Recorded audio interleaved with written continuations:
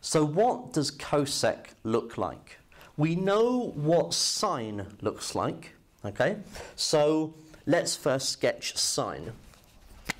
So I'm just going to look at um, sine between 0 and 2 pi. Okay, so sine looks like this. 0. This maximum point is 1, the minimum point is minus 1.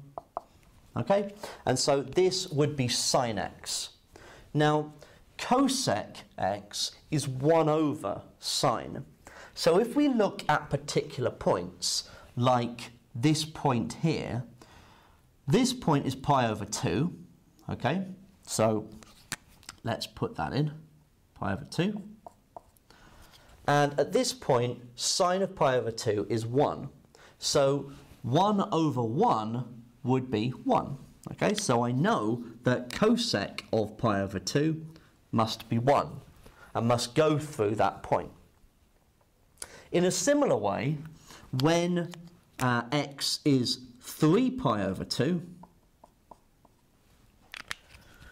uh, sine is minus 1, and so cosec of 3 pi over 2 must be 1 over minus 1, which is minus 1, and so cosec must also go through that point.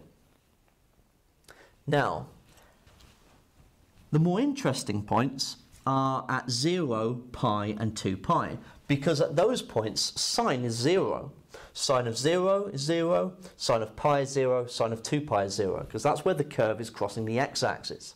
And so you get 1 over 0 at those points. And so we have an asymptote at 0, pi, 2 pi, 3 pi, 4 pi, 5 pi, and so on and so forth.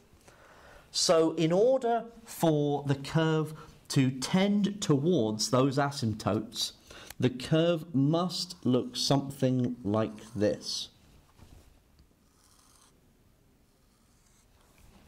And so cosec x is split up into these sections where the curve is kind of like a U shape, then a downwards U shape, then an up U shape, and then down and so on and so forth. So this is what cosec looks like.